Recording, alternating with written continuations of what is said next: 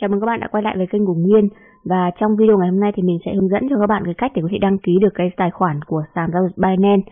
Đây là một cái sàn giao dịch tiền điện tử lớn nhất hiện nay. Nếu mà các bạn đã tham gia đầu tư vào cryptocurrency thì chắc chắn rằng bạn sẽ không thể không sở hữu một cái tài khoản giao dịch trên sàn Binance. Đây là một sàn giao dịch tiền điện tử lớn nhất hiện nay. Trong video này thì mình sẽ hướng dẫn các bạn cách đăng ký tài khoản sàn Binance, à, cách bảo mật tài khoản và xác minh danh tính cá nhân KYC để cho bạn có thể thuận tiện và đảm bảo an toàn cho bạn khi giao dịch trên sàn này nhé. Trước khi đi vào tạo một cái tài khoản để giao dịch tại Binance thì chúng ta hãy dành một phút để tìm hiểu xem uh, cái sàn giao dịch này nó như thế nào. Binance được thành lập bởi Trang Peng Chao là một ờ, uh, CEO của công ty tại Thượng Hải, Trung Quốc và người ta hay gọi là CZ. Ấy. CZ là một cái đề tài mà giới truyền thông khởi nghiệp đã tốn rất là nhiều giấy mực để nói đến. Và tại thời điểm này thì Binance nó là một trong những cái sàn giao dịch lớn nhất trên thế giới với cái tính năng bảo mật tốt, độ an toàn cao và cái tính thanh khoản cực nhanh. Điều đặc biệt là quá trình giao dịch thì diễn ra cực kỳ nhanh chóng, cái hệ thống của nó rất là ổn định nhá. Và mình cũng tiết lộ thêm là bản thân mình khi giao dịch thì mình dùng ờ, 90% cái giao dịch của mình cũng thực hiện ở trên sàn này. Một số tính năng nổi bật của sàn Binance đó là cái giao dịch phí của nó rất là thấp, 0,1% và cái việc xử lý nhanh chóng của nó thì đã giúp cho cái sàn có thể khả năng xử lý 1,4 triệu đơn hàng mỗi giây. Điều này thì giúp cho cái sàn Binance này trở thành một cái sàn giao dịch tiềm năng nhất và thu hút rất là nhiều nhà đầu tư. Rồi, và ngoài ra thì Binance có phát hành một cái đồng coin riêng của mình là BNB nhằm mục đích tài trợ cho cái sự phát triển của Binance và khi các bạn giao dịch trên sàn Binance, nếu bạn bật chức năng sử dụng cái đồng BNB này để làm phí giao dịch thì sẽ được giảm đến 50%. Và bây giờ, mình sẽ hướng dẫn các bạn cách để có thể đăng ký được tài khoản Binance thì các bạn hãy xem video này và làm theo mình nhé. Do Binance là một cái sàn giao dịch lớn, thế nên là có rất là nhiều cái đường link giả mạo nó thì để có thể đảm bảo an toàn thì các bạn hãy đăng ký đúng cái đường link bên dưới mình để trong cái mô tả trong video này của mình nhé. Rồi, à, sau khi mà các bạn truy cập vào cái trang Binance rồi thì các bạn sẽ kích vào cái phần đăng ký ở góc phải như hình à, trên cái video này của mình nhé. Sau đó thì bạn à, sẽ chuyển cái ngôn ngữ về giao diện tiếng Việt để cho các bạn dễ thao tác. Tiếp theo thì bạn có thể đăng ký tài khoản Binance bằng số di động hoặc là địa chỉ email. Tuy nhiên thì mình sẽ khuyến khích các bạn là nên dùng địa chỉ email để đăng ký tài khoản à, để cho nó an toàn và bảo mật nhất nhé. À, ờ, rồi, sau đó các bạn sẽ điền email này và mật khẩu vào đây. Ok, sau đó thì các bạn sẽ ấn vào cái phần tạo tài khoản. Rồi tích vào cái phần tôi đã đọc và đồng ý với điều khoản dịch vụ này, sau đó ấn vào tạo tài khoản. Rồi, ngay sau đó thì bạn sẽ nhận được một cái mã kích hoạt gửi đến email của bạn như là video này của mình. Và các bạn sẽ copy cái mã này, sau đó các bạn quay lại Binance để xác minh. Sau khi nhập xong cái mã vào phần xác minh tài khoản này thì là bạn đã tạo tài khoản trên sàn Binance thành công rồi và bạn sẽ được chuyển đến cái giao diện như hình. Ok, như vậy là bạn đã tạo một cái tài khoản trên sàn Binance thành công rồi. Bây giờ bạn sẽ được chuyển đến một giao diện như trên hình này. Ngay sau khi tạo tài khoản thành công thì các bạn uh, có thể nạp tiền để mua tiền điện tử bằng cái giao dịch P2P uh, à, và nạp tiền điện tử để có thể giao dịch. Ngoài ra thì bạn có thể mua được cái tiền điện tử bằng thẻ Visa hoặc là Mastercard à, hoặc là các bạn bỏ qua để vào cái giao diện chính của cái sàn.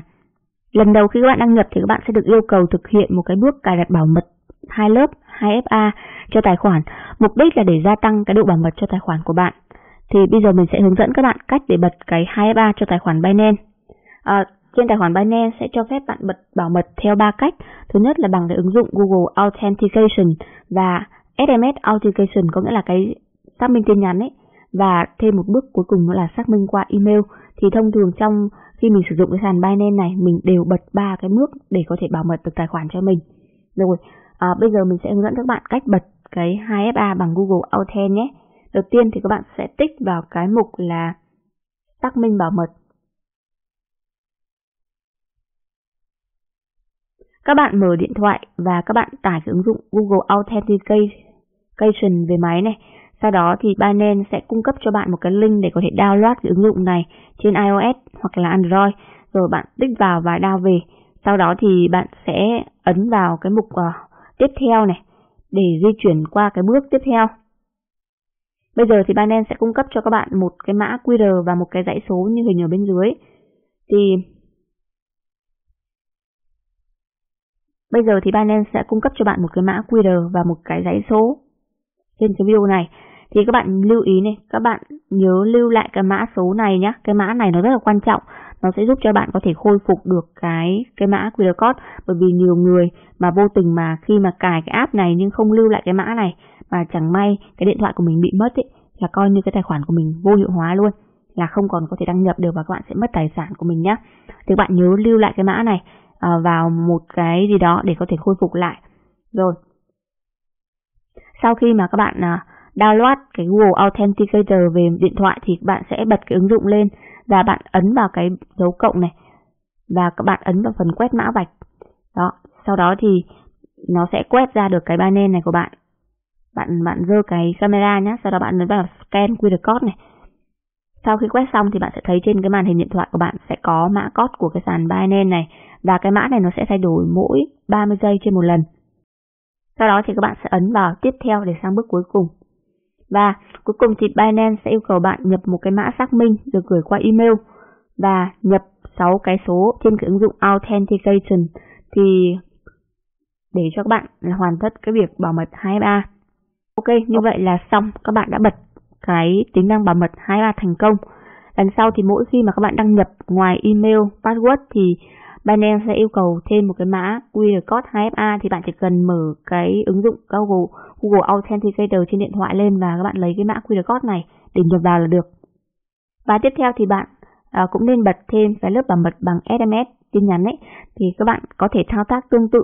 Với cái này thì mỗi lần các bạn đăng nhập trên Binance thì họ sẽ gửi về cho bạn một cái tin nhắn qua điện thoại à, và bạn chỉ cần đăng nhập và nhập cái mã số đấy vào là được thì um, bạn vào cái phần xác thực SMS này và các bạn ấn vào cái nút bật này. Tiếp theo thì bạn chọn mã vùng là VN và bạn nhập cái số điện thoại của bạn vào. Sau đó bạn nhấn vào nút là lấy mã. Như ý nếu mà bạn không nhìn thấy tin nhắn gửi về thì bạn cũng có thể kích vào cái dòng là hãy thử xác minh bằng giọng nói. Thì ngay sau đó thì có cuộc gọi đến máy bạn để họ sẽ đọc đọc cho bạn cái 6 cái mã xác minh này bằng tiếng Việt này. Thì các bạn à, nhập cái mã số cái xác minh này vào, sau đó các bạn ấn gửi để hoàn tất.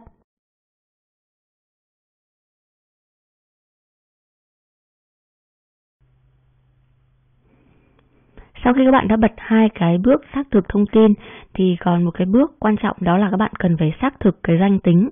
Có nghĩa là các bạn sẽ KYC cho cái tài khoản của mình để hạn mức rút tiền của các bạn sẽ không bị giới hạn. Thì các bạn sẽ vào giúp mình cái phần là xác nhận danh tính ở đây. Rồi, sau đó các bạn ấn vào phần xác thực nhé.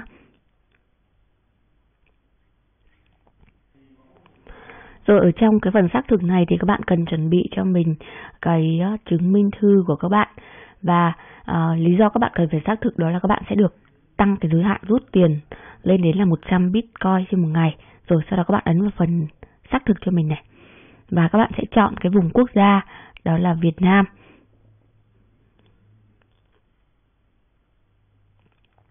và sau đó các bạn ấn vào phần bắt đầu để tiến hành xác thực thông tin cá nhân.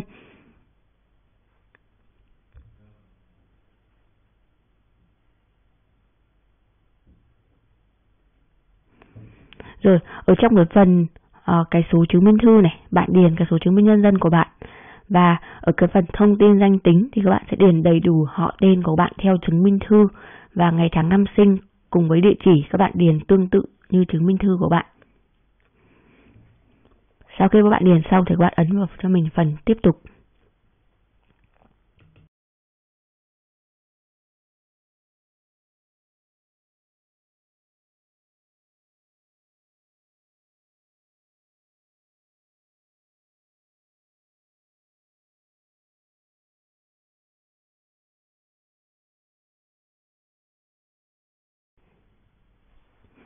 Rồi, bây giờ hệ thống sẽ chuyển đến một cái phần xác minh nâng cao để cho các bạn có thể tải thông tin giấy tờ của bạn lên.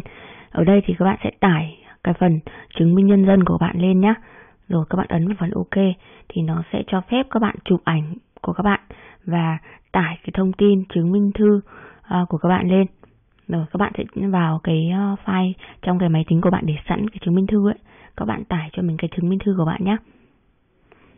Sau khi tải xong mặt trước và mặt sau lên thì các bạn cần chờ để uh, sàn Binance người ta sẽ xác thực thông tin cá nhân của bạn.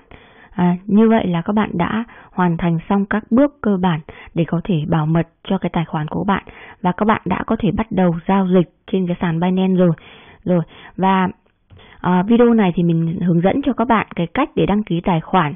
Còn những cái video tiếp theo thì mình sẽ hướng dẫn cho các bạn chi tiết về cái cách để có thể nạp tiền vào tài khoản trên sàn Binance cộng với những cái cách mà các bạn thao tác để gửi tiền, nạp tiền hoặc là thực hiện giao dịch trên sàn Binance. Các bạn hãy like, subscribe kênh để đón xem những video tiếp theo trong cái chuỗi hướng dẫn giao dịch trên sàn Binance để ờ, các bạn có thể nắm được cái thao tác cơ bản trên sàn Binance nhé. Rồi xin chào và hẹn gặp lại các bạn trong những video tiếp theo.